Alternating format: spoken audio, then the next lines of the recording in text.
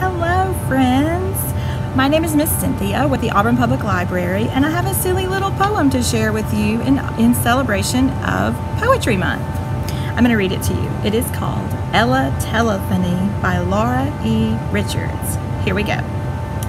Once there was an elephant who tried to use the telephone. Oh, no, no, I mean an elephone who tried to use the telephone. Dear me, I am not certain quite that even now I've got it right. However it was, he got his trunk entangled in the telephunk. The more he tried to get it free, the louder buzzed the telephee. I fear I'd better drop the song of elephop and telephong. Wasn't that silly?